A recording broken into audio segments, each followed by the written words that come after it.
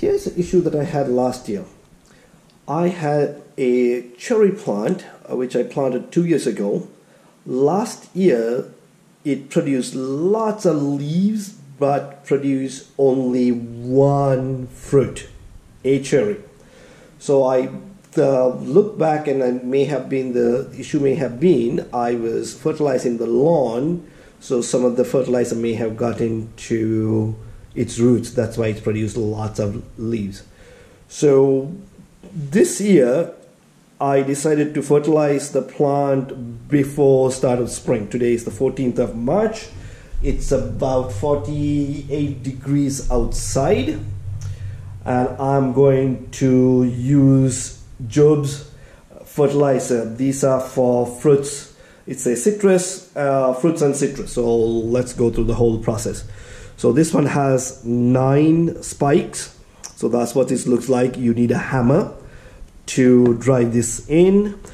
And so let's go to the back of the, uh, the package. So here we go. It says over here, uh, the best for best results apply early in the spring, uh, spring and late fall. So this is early spring, even before spring, but a week or so before. Um, so use, by using a hammer, you're supposed to, to tap on the plastic cap. So I'm going to remove this uh, and show it to you. So this is the, the spike, fertilizer spike. That's the, the, the cap. If you can see, I will remove and show the right one or the actual one. And uh, uh, spike it uh, into the ground where your plant is. So this is the the drip line. So if you can see this ima uh, image.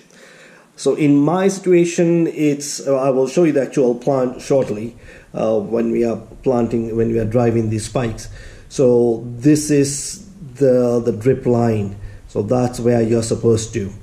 And also you have to keep in mind there's a particular chart. You have to measure the diameter of the, the plant. So my plant, I, it, you're supposed to, to, check the diameter one foot uh, above from the soil level. So it's about one and a half inches uh, is the diameter. So I can put two spikes.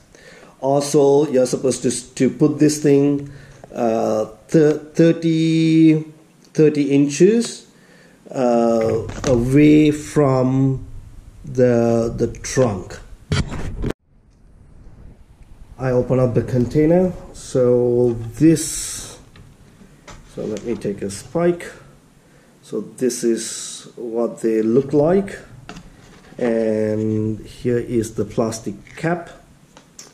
You put it like that. There are two of them. There are nine. One two three four five six seven eight nine spikes. Some of them are well actually they are the same. All of them are the same size uh, so it's two and a half feet from the the trunk where you need to drive these things in.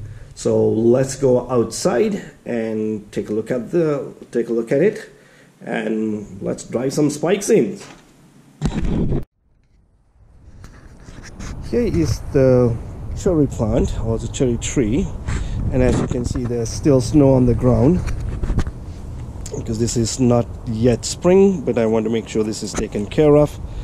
And as you can see the it start sprouting or leaves are coming out. So you are supposed to measure the trunk about a foot up. So that's about right here. So as you can see it's about just over an inch.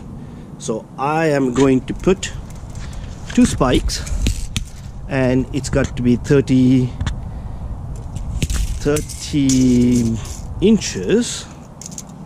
So that's going to be about two and a half. So that's about about right here. So let me go ahead and start working on that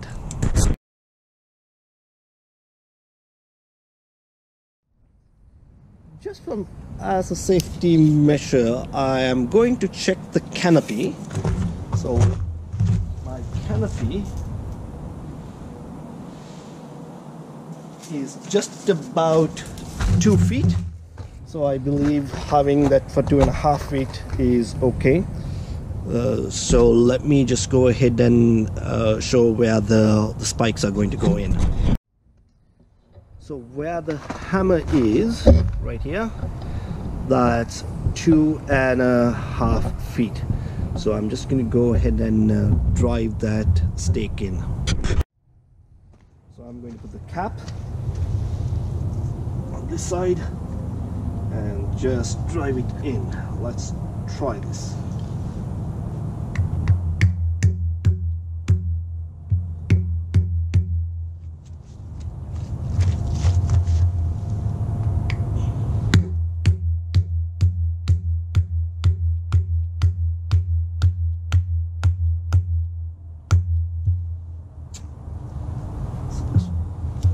Put the cap a little bit more.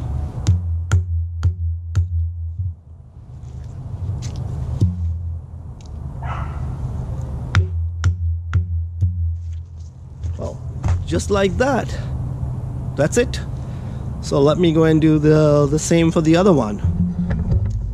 So that's two and a half feet away from the, the root or the trunk. So let me just go ahead and drive that stake in.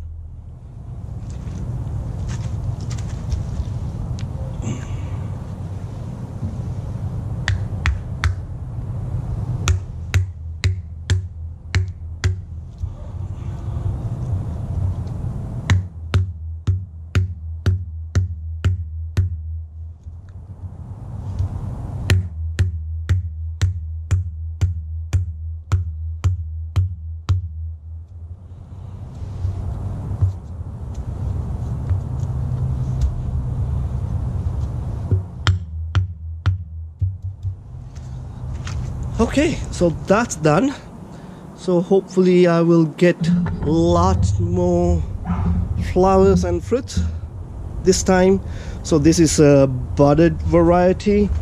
Uh, this one has four of them, four different kinds of cherries. So this is something that I got from Home Depot. Uh, that's about it. That was that was easy.